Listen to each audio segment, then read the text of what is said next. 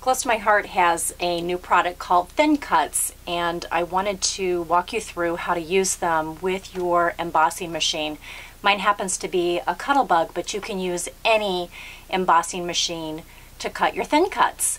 And you'll notice when you get them, they come in this wonderful envelope that you can open up. They fit down inside. There is a plastic cover that you'll want to take off before you use them.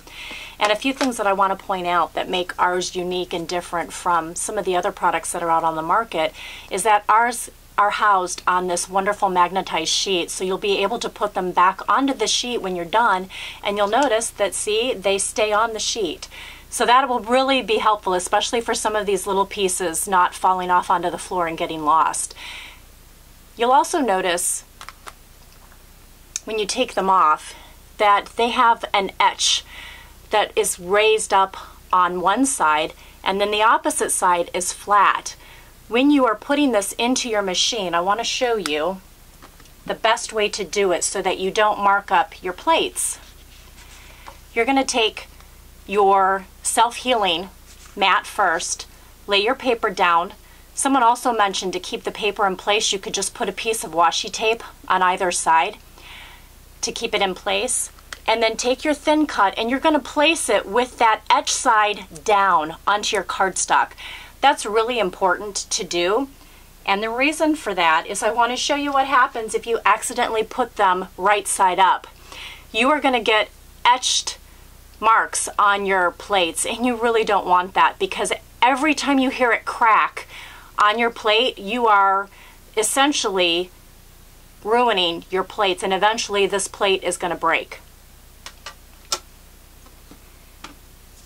So once you have it on the self-healing mat, you have the image facing down on top of your cardstock. You're going to use plate B and C.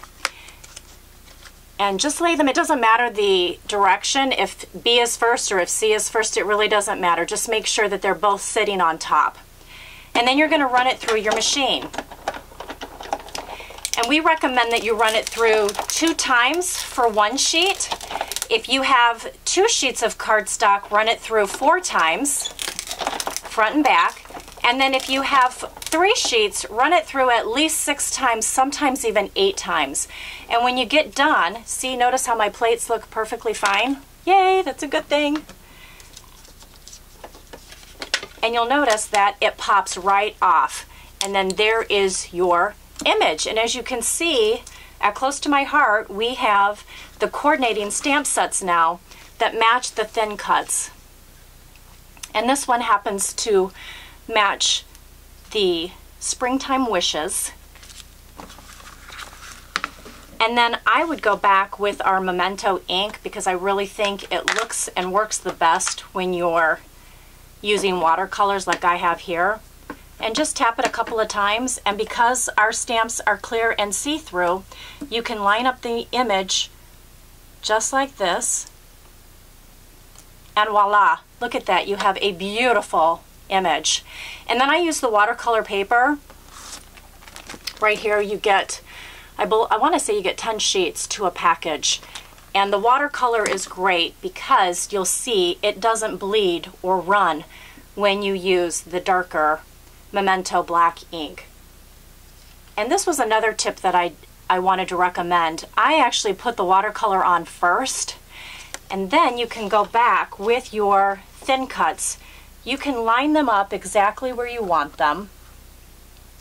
We're going to use a couple here just so that you can see that you can emboss several images at one time.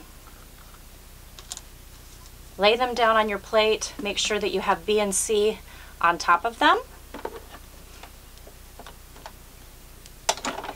And then run them through your embossing machine a couple of times.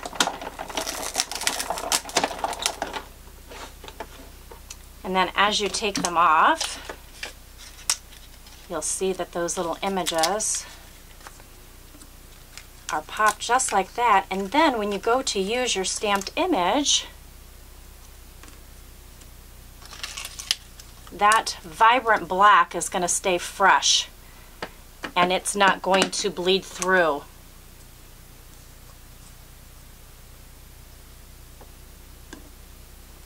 Sorry, my hand was a little shaky there. Beautiful thing about this is you can always flip it up